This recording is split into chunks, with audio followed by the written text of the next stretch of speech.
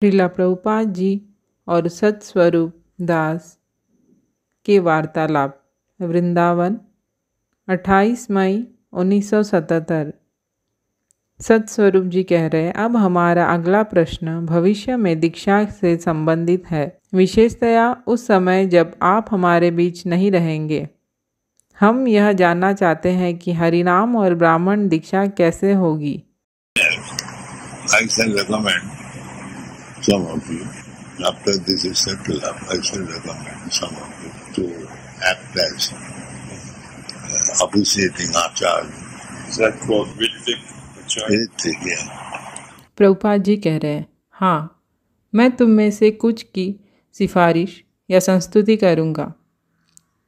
इसके पूरा होने के बाद मैं तुम में से कुछ को ऋत्विक प्रतिनिधि के रूप में कार्य करने के लिए चयनित करूँगा।